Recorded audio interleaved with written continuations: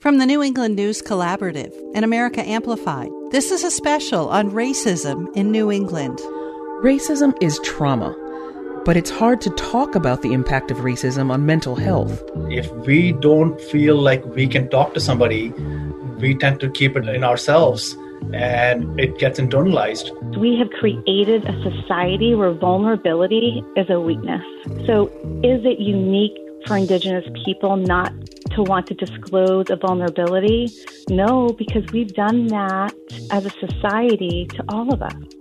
And we talk about the policy interventions that could improve mental health. We want to focus on things like uh, more livable wages because when we had these large periods of public investment, that's really when we saw the biggest improvements in terms of the racial gap. This is a New England News Collaborative special with America Amplified.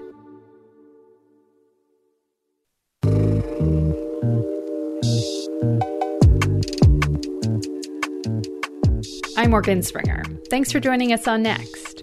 Today, we continue our special series focusing on racism in New England. The series is a production of the New England News Collaborative and America Amplified, and two guest hosts will guide us through. Jennifer Rooks is from Maine Public Radio. Tracy Griffith is a professor of media studies, journalism, and digital arts at St. Michael's College in Vermont. They'll take it from here.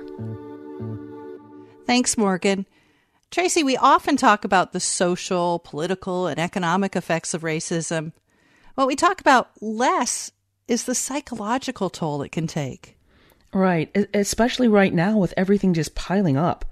We've got a pandemic to deal with and the stressors that come with that job losses, hybrid schooling, isolation. We've got the national election and the divisiveness that that's created in our country. We've got racial unrest, with many people of color just fearful in their own homes, in a place where you're supposed to feel safe. Sometimes it just feels so overwhelming. Does it feel that way for you, Jen? Absolutely, it feels overwhelming. I think any one of these would feel overwhelming, and that they're all coming at the same time. One makes us, I think, just so raw, just so vulnerable, but then also in that state, aware of things that many of us, I think, especially people who are white, haven't seen before. It's like it's pulling up the blinds on something really, really ugly. Racism is trauma. Racism is stressful. and it can be hard to acknowledge the mental health burden that racism entails and then to talk about it. So, I actually wanted to start out the show by bringing in my friend Butu Matthews. He's a Vermont based mental health counselor in private practice. Hi, Butu. Hi, Tracy. Thank you for having me. So, how are you holding up? Things are kind of crazy right now. It, it, they are kind of crazy, you know, and uh, holding up is definitely a challenge. Um, I do want to uh, acknowledge that, you know, because of some memory of H1N1 and the Great Recession in 2008, those of us who were around, at least as adults, then have some functional memory of what things were like. And so, unfortunately, because we have that experience, we are able to pull upon those memories to uh, cope with this time around a little bit better. But I know that you know obviously coronavirus is a much bigger issue than than H1N1 currently. So um, I'm I'm totally feeling the the much greater magnitude of this issue uh, today than uh, than H1N1 did in 2008. So you're a mental health expert, right? What do you make of this particular situation that we're in right now? I mean, all of these crises, right? We've got COVID, we've got racial reckoning happening around the country, the election. There's so much. You know, in terms of the integration of those, you know, and uh, you know that, you know, intersectional theory at least says that, you know, one part cannot be taken by itself, it affects everything else.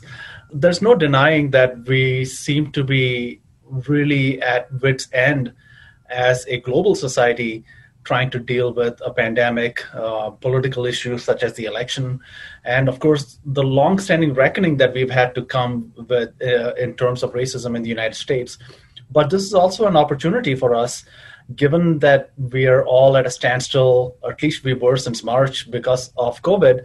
We had an, an awesome opportunity to address systemic issues, both in access to mental health as well as racism and we seem to have uh, unfortunately dropped the ball on those And that I think saddens me more than anything else. Uh, because we could have absolutely started uh, a recalibration of our systems towards greater equity in both racism as well as mental health access. And uh, we lost that chance, unfortunately, it seems like. Do you think there's a particular mental health strain as a person of color living in New England or northern New England? Uh, you know, uh, isolation is one of the chief indicators of one's mental health. The beautiful thing about northern New England is that we are surrounded by such natural beauty, but then uh, the closest metropolitan area that you know Burlingtonians um, are close to is really Montreal. So our isolation tends to be one of the greater aspects uh, that uh, seems to indicate whether we're going to have a good mental health system or not. And uh, I think that needs to be addressed um, as mental health professionals uh, and as academics and intellectuals. We need to be considering the fact that we, Northern New England, tend to be isolated from the rest of the country uh, and also from Southern New England. And you, as a person of color living in, in New England, how is that element affecting you? I have to say that as a, as a more recent uh, transplant to the New England area, I'm still catching up.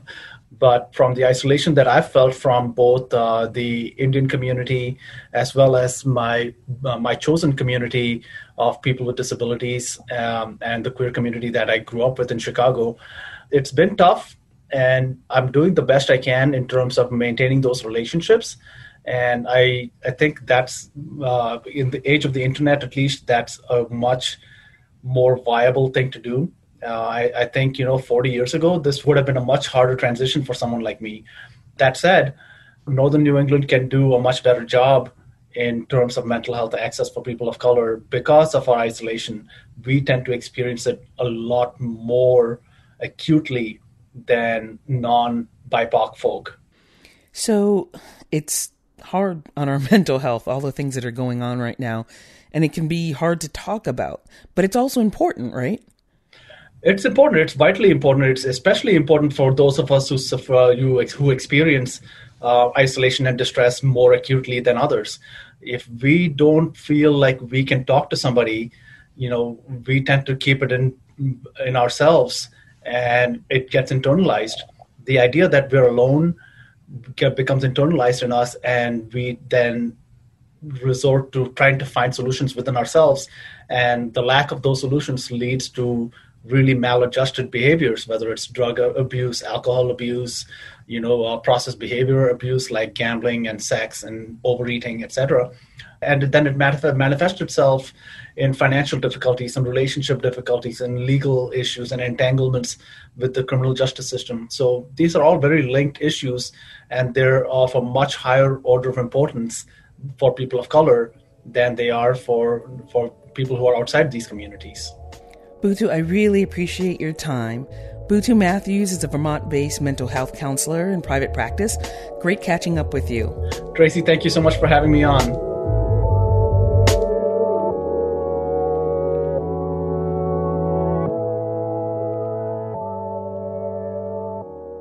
Today, we're going to hear from people in immigrant and Native American communities. And we're going to talk about ways advocates are trying to address the mental health impact of racism. But first, how did we get here? I think the majority of it is because of the structural disparities and health care or health service inequalities in our system that have been existing for you know centuries really. That's Dr. Charles Dike. He's Chief Medical Officer with the Connecticut Department of Mental Health and Addiction Services and an Associate Professor of Psychiatry at the Yale School of Medicine. He says that people of color have a harder time accessing health care and health insurance, something we'll talk about more later. But he says that when they do get mental health care, it's often not culturally appropriate. Psychiatric patients also are more likely to be diagnosed with schizophrenia or psychotic disorders as opposed to their Caucasian counterparts who are more likely to be diagnosed with mood disorders. Black people are also more likely to be diagnosed with personality disorders, uh, borderline intellectual functioning, all of which are problematic in our system, but all of which also speak to lack of cultural competence and understanding of the needs and the presentations of people of color in our system. Dr. Dike has an example of something he's seen a young black man admitted for a mental health concern who is wearing a do rag. It might be seen differently by different people depending on who sees you first. They might think this might be a sign that you're a member of a gang or that there's something wrong with you, whereas it's just your way of expressing yourself. Uh, I have definitely seen many of our psychiatric patients being diagnosed with psychotic disorder for whom, when after, after careful examination, actually have uh, a mood disorder. I've seen people be um, offered injections when they should be offered oral medications. I've seen people not be offered psychotherapy when in fact they need psychotherapy because it's just not what people think about right away. So, in my own practice, I've seen all of this. I've seen black people be excluded from research studies, not because sometimes people are actually looking to exclude them, but people are not looking to include them. So then it becomes a, a, problem where the research studies are coming up with findings that actually may not apply to people of color because they were not included in the first place. And this kind of structural inequality, the kind that deprives people of color from getting the care they need, is just one piece of the puzzle. There's also the direct impact of racism itself and how it changes the brain. Kea Ganguly is Assistant Director of Youth and Family Services in Bennington, Vermont. She reached out to us. Being a person of color in the United States, particularly for our black brothers and sisters, the systemic racism and direct racial incidents that they face daily creates trauma. And trauma writes on the brain, it writes on the body, it creates you know, stronger startle responses. It affects your quality of life. If you can't leave your house because you're scared what's going to happen or you have to be on alert, your mental health is definitely negatively impacted. Ganguly says she comes from a family of activists in India. Her grandparents marched with Gandhi. She tells us her family has experienced racism in Vermont, and it has left a mark. I have three adult daughters. They were all born in Vermont. They've all stayed in Vermont, which is we know is unusual, and they've chosen to work in the nonprofit sector because they want to give back to their community. Um, shortly after the elections in 2016, we started facing incidents where we'd be walking down the street, specifically my daughters, um, at, at different times, and people would lean out of cars and scream at them and say, "Go back to where you came from, you Arabic," and a swear word which put the I mean, my daughter's been in fear. She was like I she started dressing differently. She started because if she she can as she said, I can pass because I'm light skinned if I do my makeup right. So it's completely negative. She's suspicious of people. She worries about what's going to happen if she's by herself. So it, it's a challenging situation on a personal level. It's a challenging situation on a systemic level when you have an entire group of people who fear who fear the other when they go outside. That was Kea Ganguly of Bennington, Vermont.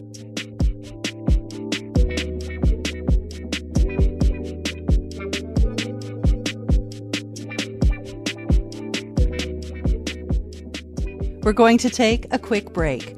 When we come back, a woman who immigrated to Maine from Somalia talks about different cultural understandings of mental health and the stigma and fear of being ostracized if you seek help. We'll also talk to a Wabanaki public health expert about our collective responsibility to do better for Indigenous people. This is a New England News Collaborative special with America Amplified. I'm Tracy Griffith. And I'm Jennifer Rooks.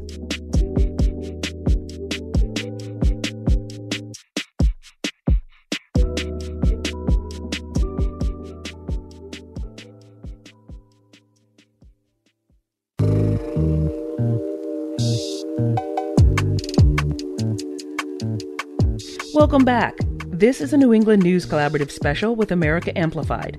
I'm Tracy Griffith. And I'm Jennifer Rooks. Today we're talking about the impacts of racism on mental health and well being. And we want to bring Lisa Sockabasin into the conversation. She's director of programs at Wabanaki Public Health in Maine, has extensive experience in health policy and public health at the tribal, state, and federal levels, and is a Passamaquoddy tribal member. Lisa, thank you for joining us. Thank you for having me. Lisa, I'll start with a big question. How does racism affect the mental health of tribal communities? Wow, that is a big question. Um, when I think about the impacts of racism on the health of Wabanaki communities, I I really think we need to go back generations.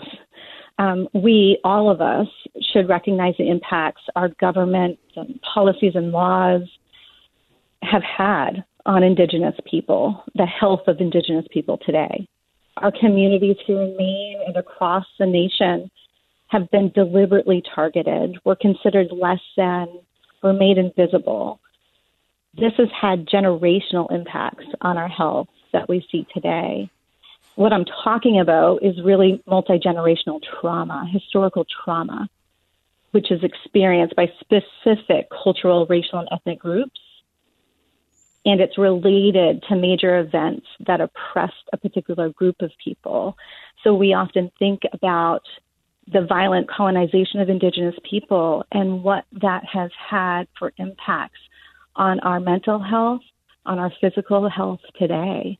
You know, growing up, my first year in in college, you know, the the year that's supposed to be one of the funnest years, right, of a young person's life. And I remember receiving a call, and that call was from a family member letting me know that my brother, my older brother, had just committed suicide. And I think about our struggles with my brother growing up with some of the inability to connect him with the resources that he needed to be well, to resolve some childhood trauma, to resolve substance use disorders, you know, that would help him reconnect with our culture, our Passamaquoddy culture, and all of those things that make us strong. There was a lack of resources to connect him.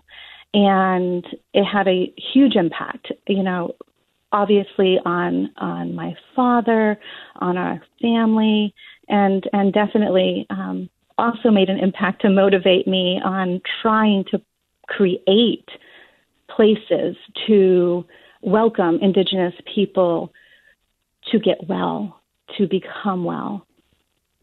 Lisa, I understand there's some hesitance to talk about mental health challenges that affect Indigenous people because of the reluctance to reinforce negative stereotypes. Is that a problem? Well, I think when we think about the reluctance to talk about mental health, substance use disorders, any behavioral health um, challenges, that's a reluctance that exists in every community.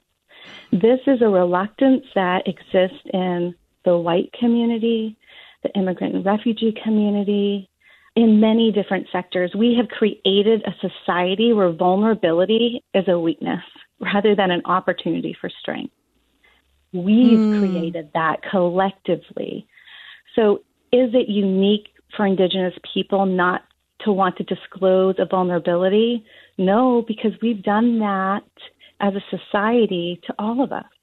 However, I think it's a much larger issue that we need to talk about when we practice bias, discrimination, racism, exclusion. We hurt everyone. We certainly just do not hurt certain populations. Now, I will say the burden oftentimes um, is uneven. You know, for people of color, for indigenous populations. However, this discrimination, racism, bias, this harms us all.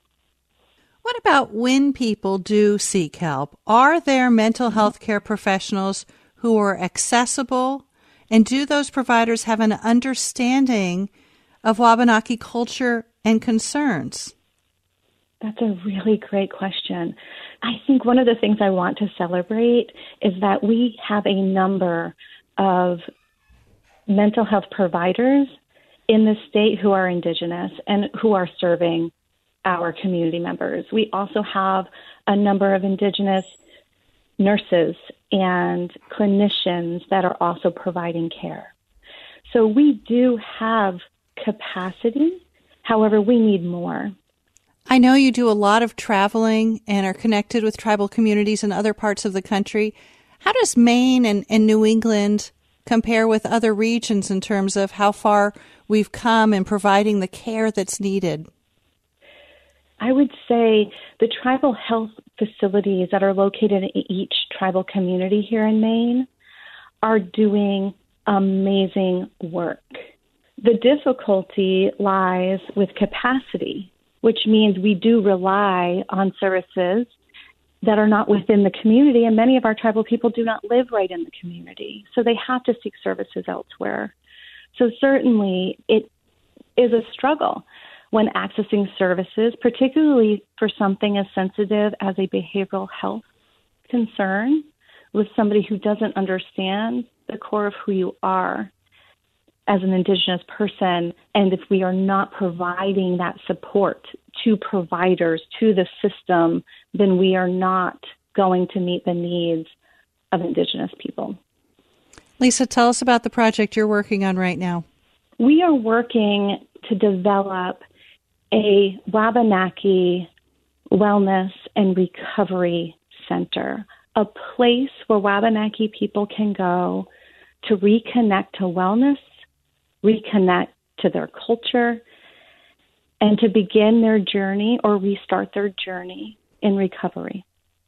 What we know in Maine is that we've lost way too many of our Wabanaki people to substance use disorders, to suicide, and we need to be able to serve our people right here in the state. For far too long, our tribal chiefs have had to make the decision to send tribal members outside the state and sometimes outside the country to be able to receive care delivered by Indigenous people and that is culturally competent. And now we're creating that right here in Maine, and we are so excited. This was a dream from tribal chiefs over a decade ago. Before we go, what would you like to say to the rest of us? What can individuals do?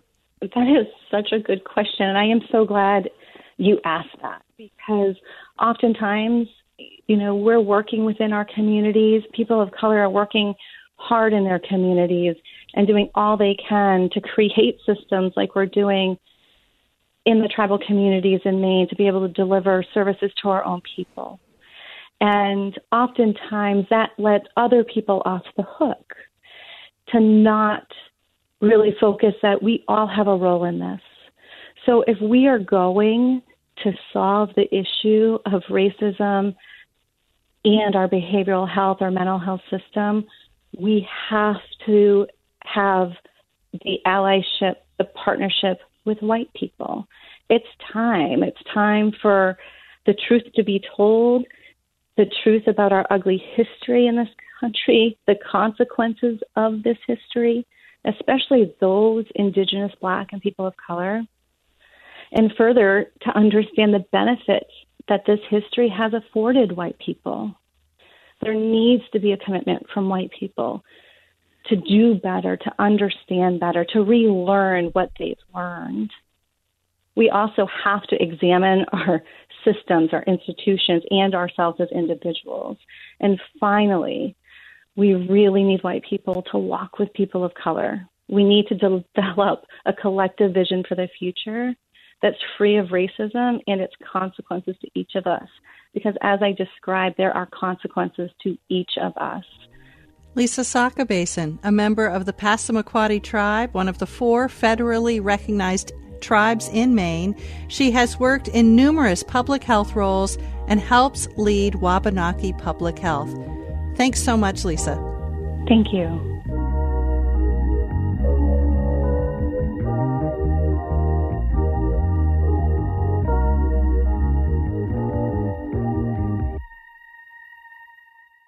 Part of our goal today is to bring your voices onto the air. This is the voice of Amara Ifeji. She's a recent high school graduate from Bangor, Maine, and here she's describing her experience when she first moved to Maine from Maryland when she was nine. I was engaged in a game of Foursquare, and I didn't have that in Maryland, and I was really excited that I had won. And after my winning, this kid actually proceeded to call me um, the N word and a monkey. And so those were just the experiences that I faced, even just within my first month of arriving here. And then it has continued the past 10 years of just horrible, nasty things that I've heard from students, uh, youth, as well as adults. I was just feeling a lot of just self hate because uh, I was I was black and I really was maybe like one of five black people usually at my school, and I was feeling so much self hate. Like I don't know why I look like this and why everybody else looks like that. I just want to be just not unique. I want to be like everyone else. That was Amara Ifeji from Bangor, Maine. And here's Anthony Marquez, an activist and filmmaker from Newport, Vermont.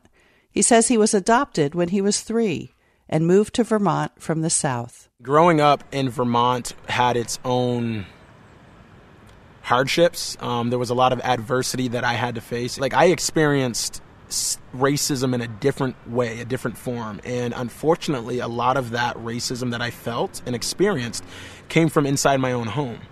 I oftentimes tell people that systemic racism isn't just within a courtroom. It isn't something that just happens when a police officer pulls you over or arrests you. You know what I mean? Like systemic racism consists in our everyday lives. It consists literally in our everyday lives. And I experienced it in so many different ways. Um, as a child, I never was able to connect with um, my mother. I was never able to connect with her. And through scenarios and situations that I've been through, it, it, it, it was so it was so tough to understand what was love. That was Anthony Marquez.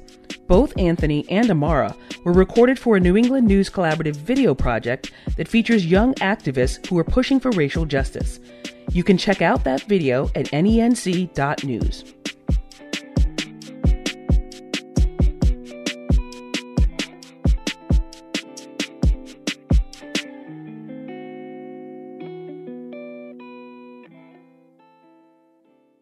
Now we turn to Maine's immigrant community and the particular approaches and challenges to mental health. Deqa Dhalac is originally from Somalia and has lived in Maine for 15 years. She has worked in a number of roles in the immigrant community, including in public health. She is currently with the Maine Department of Education and serves on the South Portland City Council. Deqa, thank you for joining us. Thank you for having me. Like you, many of the immigrants you help have come from African countries to Maine and have faced extensive challenges along the way. How can their experiences affect their mental health? So, as you know, many of these folks coming from different areas in the world, uh, from civil wars, from war that is really still going if you count on Iraq and Afghanistan. So most of those folks coming to uh, the United States, they carry in those traumas, and most of them are not really seeking any, I mean, health care or anything like that because in their mind they have to work and making sure that they're sending money back home and taking care of those loved ones that they left back home. And before they know, those trauma comes and you know in, in in a way that it hurts them. And they are becoming really uh, isolated in their own homes and cannot do what they wanted to do. So what we do as the community leaders and folks who are being working in the healthcare sector to um, educate for them and making sure that they do understand that they are important to us as much as they are important to their families back home. So their life matters, and therefore they have to seek for help in order for them to help and uh, take care of their families back home and the families that they do have here. Some of them have uh, their families here as well. So they do um, bring a lot of trauma from back home. And, and Deqa, what struck me is you're talking about the trauma they're bringing from back home, and then often the isolation they feel once they get here. What a what a terrible combination. Yes, that that's a huge combination because of the fact that when when you come here, most of us are not really experiencing the snow and the cold weather in Maine, and I'm talking about in Maine. Generally, that's where we are right now, and also uh, coming to a state that is 97% white. So they're coming from a space that they have all people look like them, but now they're in a space that they have people who do not look like them. On top of that, uh, they're experiencing racism and um, they are trying to navigate the system, whether it is the education system, the healthcare system. All the systems that we have here is totally different than what people are get used to having back home. So all of those things kind of becomes a big wall for them, and that makes uh, most of folks uh, isolated and not understanding. And also, a huge other barrier is the language barrier. And if we talk about the cultural one, is another thing. When you cannot find the foods that you get used to having, that is another barrier that you cannot really.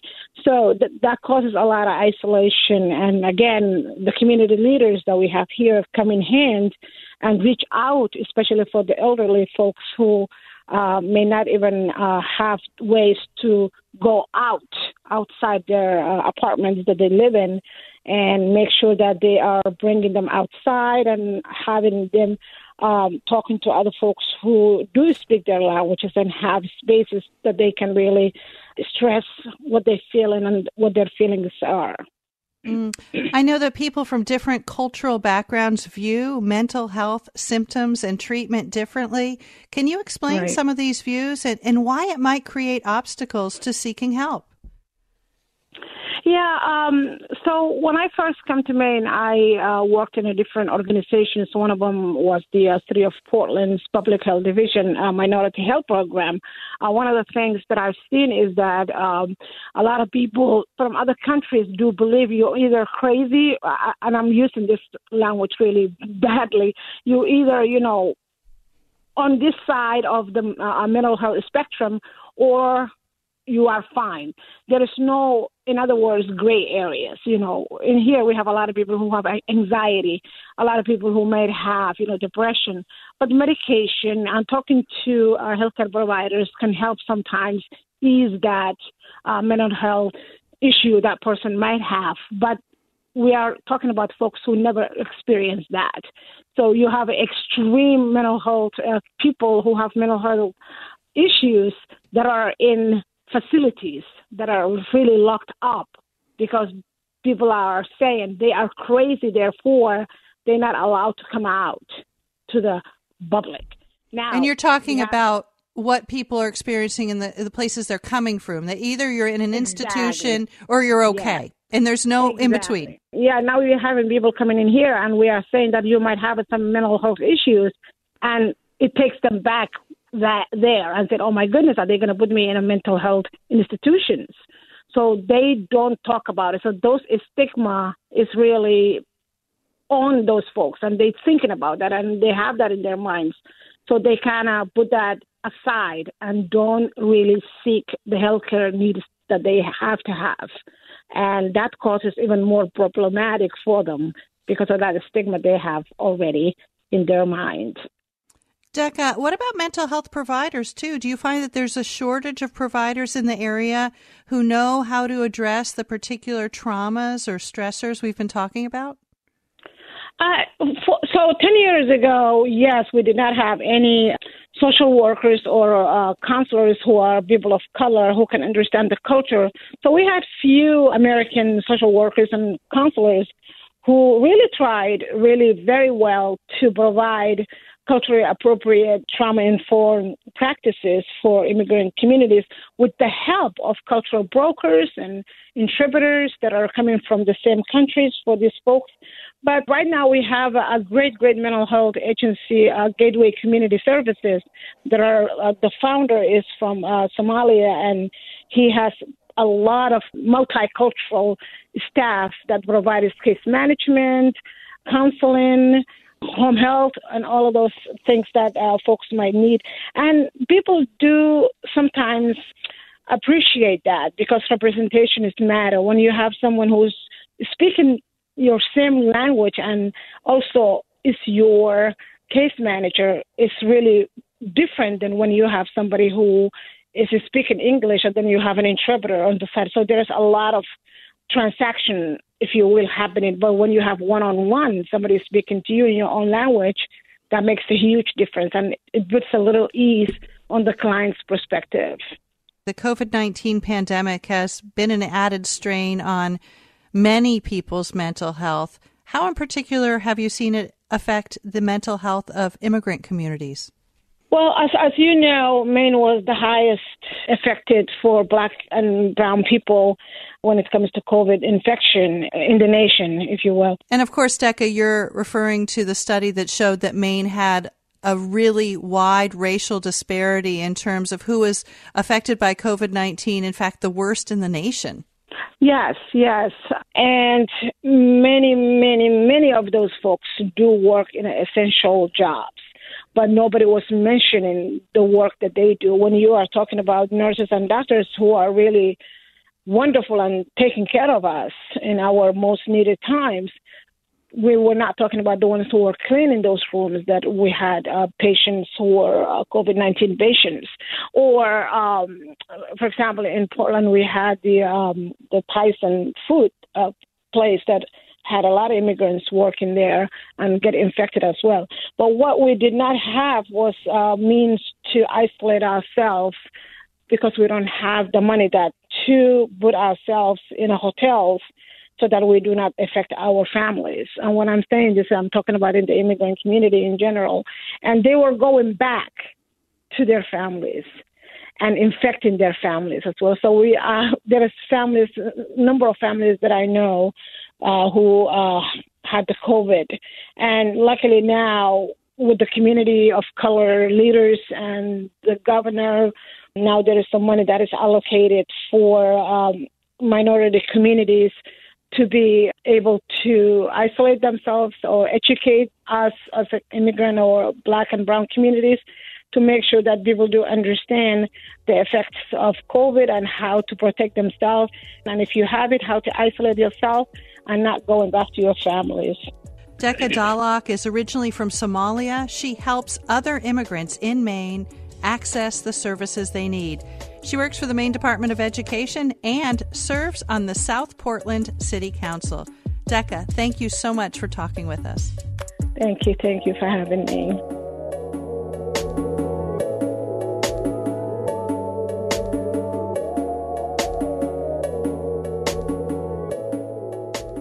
After the break, how we can begin to tackle the impacts of racism on mental health. And yes, racial justice is a big part of it, but our guests will focus on one avenue for relief economic programs. This is a New England News Collaborative special with America Amplified. I'm Tracy Griffith. And I'm Jennifer Rooks.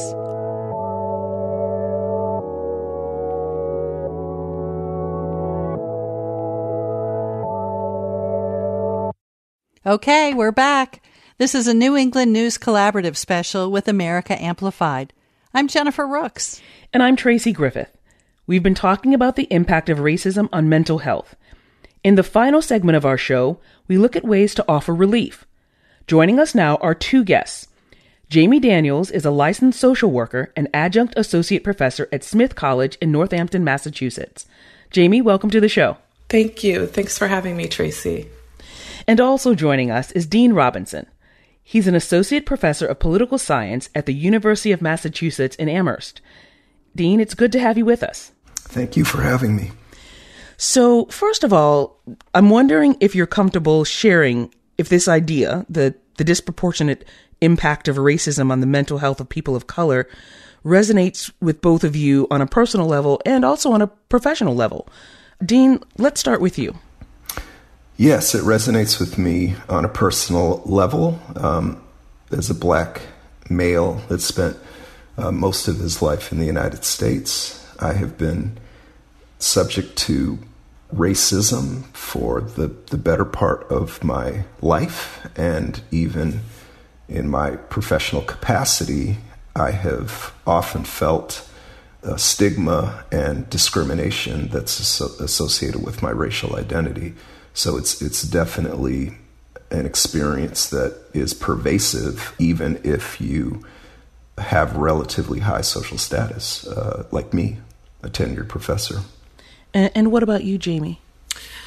I see suffering that's the result of the subjective experience of marginalization in my patients and i have you know personal experience with it it's profoundly distressing to me as a black mother, for example, to observe the heinous murdering of black mothers' children.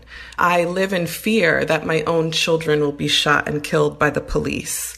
And so this is both personal uh, for me and also you know, comes into play in terms of my professional work as a psychotherapist and researcher. You know, I'm broadly interested in the mental health of black women. I see the ways in which and understand the ways in which racism gets under the skin and is making us all quite sick. So, Jamie, you mentioned that in your therapy practice you work with women of color predominantly. What are some of the themes or challenges that you see that arise regularly with your clients? I am seeing the result of kind of individual, the experience of subjugation, and so sadness and low mood, anxiety, um, agitation, hypervigilance. And now more than ever, I'm seeing a kind of internal psychic response to a lack of governance that um, really guarantees the provision of basic needs. Um, and so, really widespread adverse but probably adaptive responses to adversity. So, existential anxiety, depression, symptoms of PTSD. You know, I'm seeing that uh, more and more, um, this kind of existential suffering. But so many of those issues are issues that you see across races. How is this attributed specifically to racism?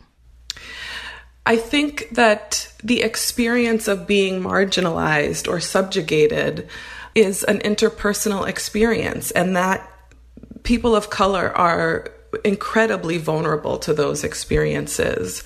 But broadly speaking, I think that we live in a society that has really relinquished its caretaking function.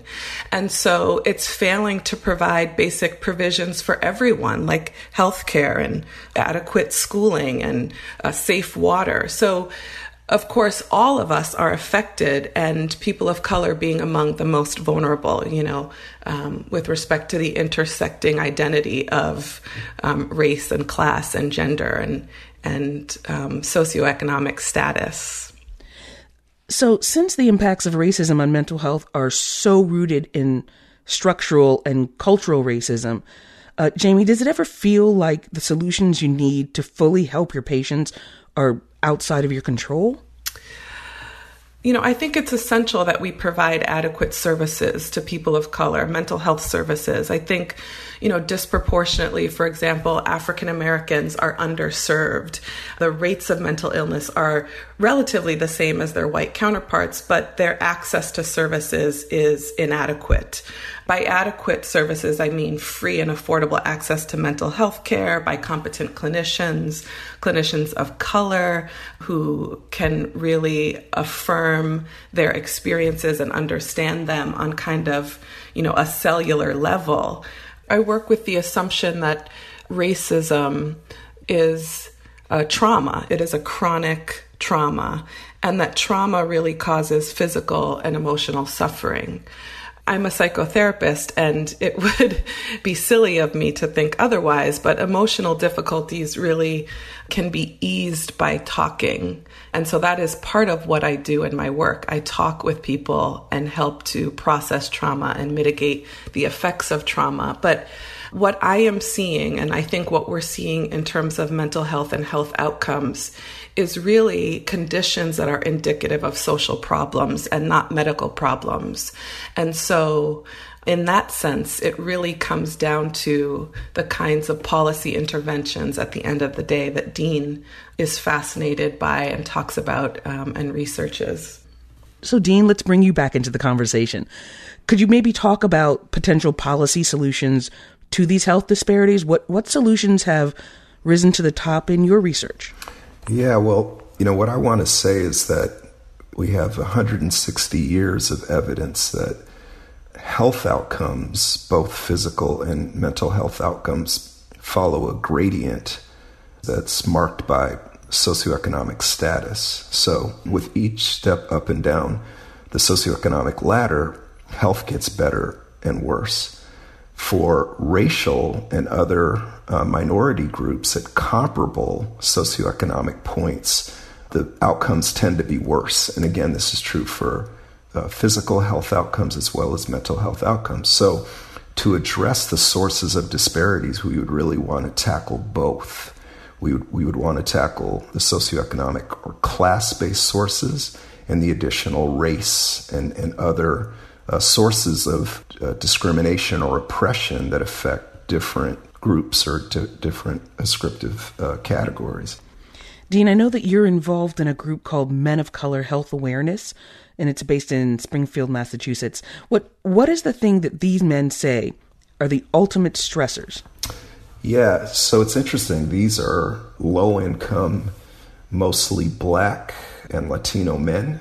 They have put together a curriculum through which they attempt to address stress, chronic stress, as it, it, it affects them in life. But I think that if you speak to the men, you know, who participate in this program, they'll say that the stress that affects them most are those stresses that are tied to economic hardship. So it's getting and holding on to a job that pays a decent wage. It's housing security. It's, you know, healthcare access and quality. So these men are, are quite aware that we live in a racist society. But in terms of the agenda that rises to the to the top of their list, it tends to go to things like higher minimum wages, um, you know, workers' rights on the job, better housing access, expunging criminal records that could affect employment opportunities, and so forth. Dean, maybe you could talk a little bit about do we have proof that broad economic programs work? Uh, so, a striking example was the establishment of Medicare in 1965, which created a system of public health insurance that led to a, a swift and dramatic desegregation of medicine in America. While it didn't eliminate racism in medicine, it was associated with a dramatic improvement in, in black infant mortality. Uh, there have been a number of papers that have found that the civil rights era was associated with better health outcomes for black people and especially black women. And the civil rights era and Great Society era were a period when the government was addressing both the economic sources of racial disadvantage as well as the particular disadvantage uh, due to, to racism. And so we saw policies like Medicare, Medicaid, public employment, early childhood education as well as the enforcement of anti discrimination law. Uh, we know that from 1980 to the present, there's been a turn away from those types of policies in favor of lower taxes on top earners, deregulation, and tepid support of corporate and business practices, a turn away from affirmative action. And this has had a deleterious effect on the health of black, other minority populations, as well as many whites uh, in the United States.